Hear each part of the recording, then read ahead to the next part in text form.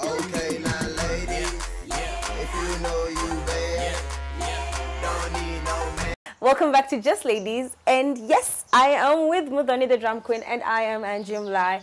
And um, before the break, we were talking about who your dream collabo would be. And that is amazing. And we're going to call you back for that. Thank but you. now let's go to the other thing that you are known for. If people don't know you, you for your music, they know you for the event that they've most definitely graced. And that is the Blankets and Wine. Where did it all start? Um, so when I used to do these shows in 2007, 2008, Yes. uh, we were doing them in this club in Westlands, and it was small, and it was on a Friday night, and we had so many problems. Um, we always had to start late because people were always in traffic. If it was raining, people wouldn't turn up. When they'd get there, the venue is too small. We'd have problems with the venue owner. Sometimes would refuse to make the payments in the way that we agreed. Yeah. Um, there was a set of circumstances Yeah. that was just not Yeah. and we couldn't grow we couldn't grow the audience because where will people sit like where will, when they come to watch you where will they sit or how will they hear you where will they interact it was very difficult and um and I was having a conversation with some friends of mine because I was like, I'm done. So we'd quit the gig. But I didn't want to quit music. I just wanted to quit the circumstances. Yeah. And so my thought was that I should go find a bigger club to do it. And uh, my friend, uh, Mukula, was like, but if you move to a club, it's only a matter of time before you have exactly the same Problem. Because what are you going to do about Nairobi Friday traffic? Yeah. Or what are you going to do about a club owner who decides that he's not going to give you Your money. your money? Yeah. And um, and so it was me, my friend Mkule and Rachel, and we're just brainstorming. And I remember the idea was that, you know, everything that you're doing, uh, are we in agreement that everything that you're doing is not working? And I say, yes, it's not working. I can't grow the numbers. I can't make the money meet, uh, the ends meet. I, It's just not it's working. just not working. Yeah. Um, so, okay, write all the circumstances and do the opposite. Great. And so instead of doing it by night, do it by day. Instead of doing it somewhere near and convenient, do it somewhere far and deliberate. You know, instead of doing this thing, uh, you know, for guys after work, do Yeah. it for anybody who wants to come, including if they have their children. Mm-hmm. Um, you know, it was the opposite, direct opposite. just do everything. everything different, Yeah. right? And um, yeah, the, at the club, they never let you bring your own drinks. Tell people to bring their own drinks. Just Mm-hmm. do ev- everything you do, everything that's just like everywhere you're stuck. Yeah. Everything, like everything that, even everything that you think is working, just the mm-hmm. opposite. It's a gig for yourself. Do a gig for yourself and others. Mm-hmm. And that's how blankets. And work. really, it was just like this. And I, I think I was desperate enough and and and willing mm, to Yeah. try because you know doing the same You're- thing over and over, uh, expecting different results is mm-hmm. insanity. And when did you start with blankets? So we start blankets in 2008 November. Mm. How was the turnout the first time? Uh, 120 people, No. and I was so fantastically pleased with that. like yes, 120 people came and paid us a thousand shillings. This is wonderful. We had a rickety stage that was even like moving as we were performing, but it was all good. Yeah. Um, then the second one, we had 108 people, and I remember that day we were competing with six different events. So I was like, ah, we're okay. Yeah. So I took out January of 2009 just to dream and to write and to Yeah. call it into being really. And I think maybe I slept a total of 10 hours that month. I, mm. was like, I just I was lost in the dreams and like writing and the plans and mm. what I wanted to look like, which artists I want to collaborate, how I mm. want to go into East Africa, how I want to bring Africa into Kenya and mm-hmm. all these really big, lofty, incredible dreams. And I like made lineups for the whole like two years in a row and Yeah. it was crazy. It was really crazy. Mm-hmm. Uh, And then, and then uh, we resumed in February, and I remember, I think in March, uh, we had 300 tickets on sale, and the girl who was at the document told me, "Yo, we have a problem. We don't have tickets." So I thought that she meant I forgot to bring the ticket book. So she's like, "No, we've sold out." Wow. I was like, "What?" So what's the biggest uh, crowd you've ever had to handle with blankets and wine? Mm, I think that would be 2014 January when we did the two-day festival, and we had about 6,000 something people, Yeah. yeah, through the doors. That was pretty intense. Okay. Um, but it was also fun. It was over two days, and it was uh, it was really it was a really good And what you, what made you change the principle of it? Because everyone knows it's always the first Sunday of every month. Yeah. So what made you change In the principle? We did the two day because uh, 2014 we did the two day because we turned um, 50. There was 50 events in five years. Kenya's 50th anniversary. wow. We just wanted to make something special, and we were willing and open to trying the idea of a festival and. Uh, for us, the growth, because again, I feel like with Blankets and Wine, because you know we played all the Kenyan artists we wanted to play. We played them twice. We played them three times. We're like, okay, we need to variety Yeah. to change this up a bit. So we brought in artists from different places of Africa, and then we brought all of the ones that we imagined. We even brought them twice. You know, it's like okay, this is Yeah. yeah, this is not interesting to me anymore. So You know, just when you just like this is not interesting, this is not interesting. So um, we want to scale. One because it's going to be a little bit more interesting for us. Yeah. Uh, it's going to be interesting for the audience, but then also because I believe, at least for me, um, I'm interested in small, hyper specific, well curated experiences or large, very well curated, over the top experiences. So for me, it's either it's it's small or big. yeah.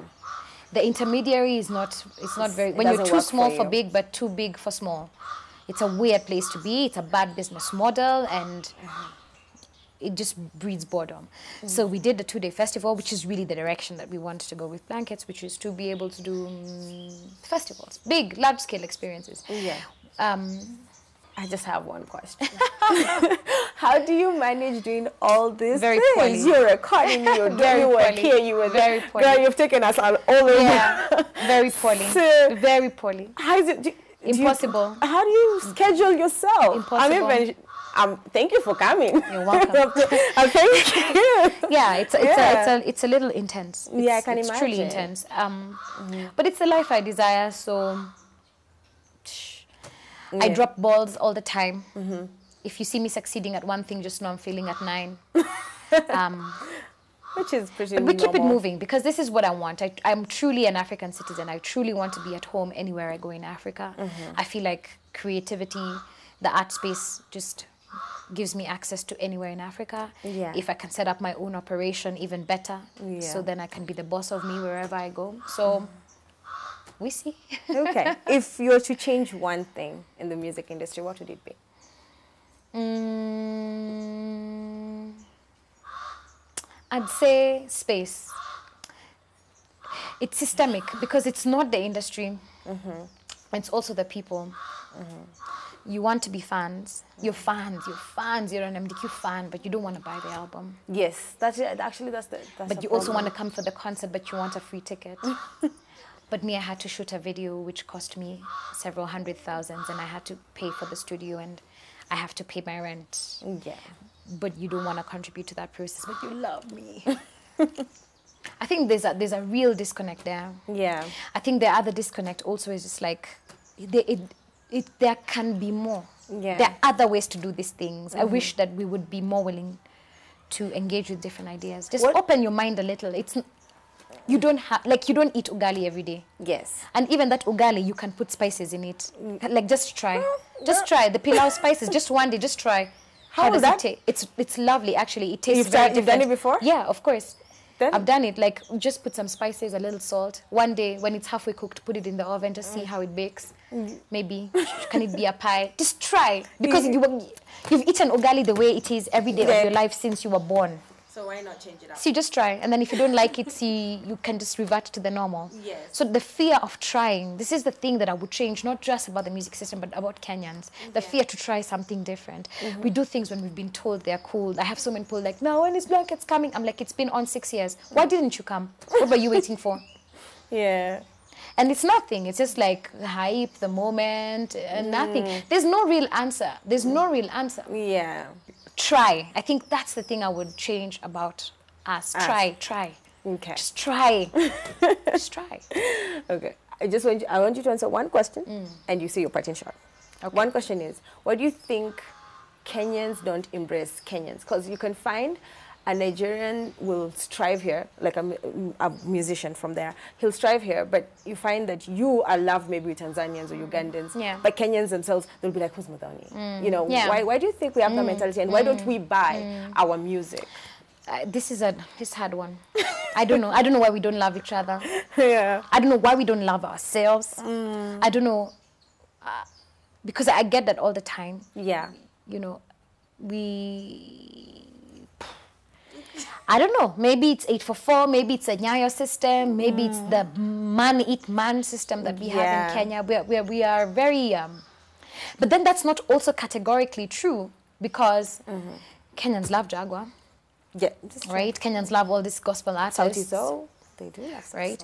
So maybe it's not true that they that we don't love each other. Maybe it's the way we present ourselves, to, each, other. that makes us, Yeah. you know, a little standoffish, Okay. right? Um, shot.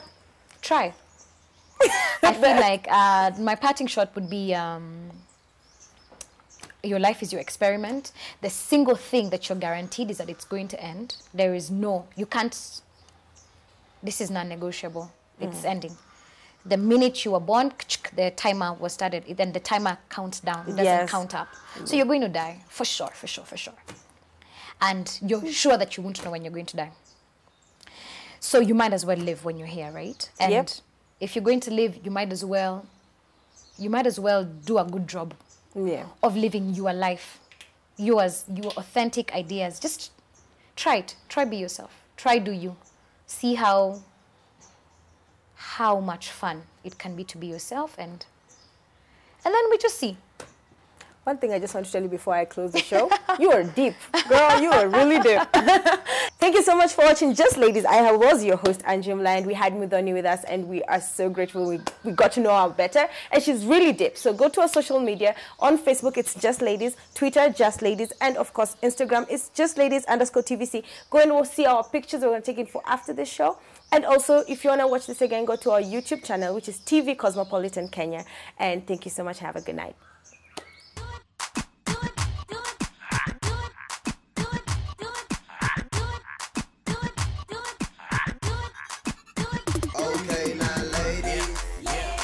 know you.